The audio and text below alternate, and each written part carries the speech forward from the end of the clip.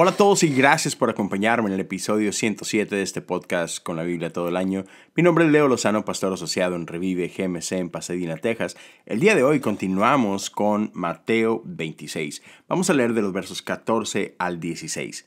Yo estoy leyendo la nueva traducción viviente, pero tú puedes acompañarme con cualquier traducción que tengas contigo. Lo importante es que aquí estamos un día más haciendo el tiempo para leer la Biblia, ¿sabes? Y mi oración es que podamos hacer un tiempo a lo largo del día para meditar en lo que esta escritura tiene para nosotros, creando así un espacio para que el Espíritu de Dios pueda hablar a nuestro corazón. Así que con eso en mente, ¿por qué no leemos juntos la Biblia? Entonces Judas Iscariote, uno de los doce discípulos, fue a ver a los principales sacerdotes y preguntó, ¿Cuánto me pagarán por traicionar a Jesús? Y ellos le dieron treinta piezas de plata. A partir de ese momento, Judas comenzó a buscar una oportunidad para traicionar a Jesús. Esa es la palabra de Dios para el pueblo de Dios. Damos gracias a Dios por su palabra. ¿Sabes? Judas, eh, de hecho, su nombre tiene la misma raíz que Judá.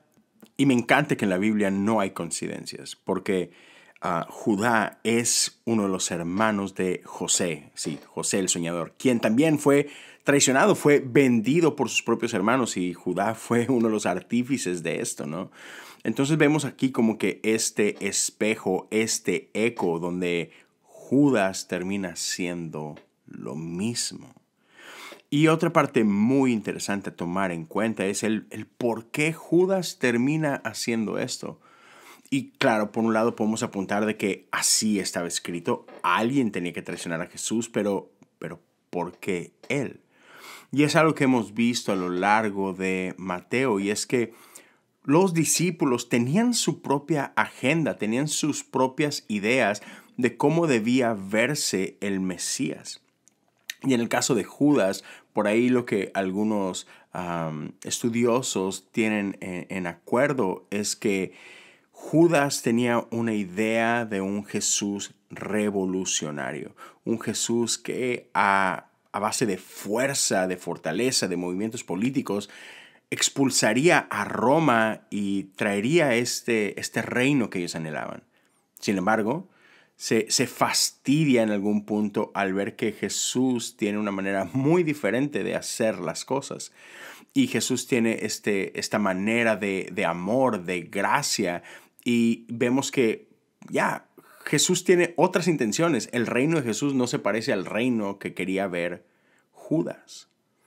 Y hay incluso quien dice que esta traición no era algo que Judas quería ver en su totalidad, o sea, no es que verdaderamente quería traicionarlo y verlo fracasar o morir, pero era como que un intento desesperado de Judas de acorralar a Jesús para que viéndose en esta situación, pues Jesús pudiera cambiar sus formas y poder hacer lo que Judas quería que él hiciera. Entonces hay una onda así media, media política, media, media bastante fea, que no le sale.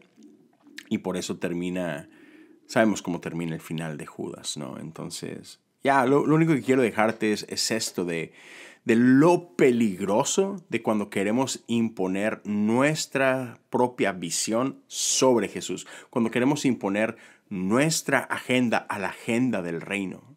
Cuando hacemos eso, nunca va a terminar bien.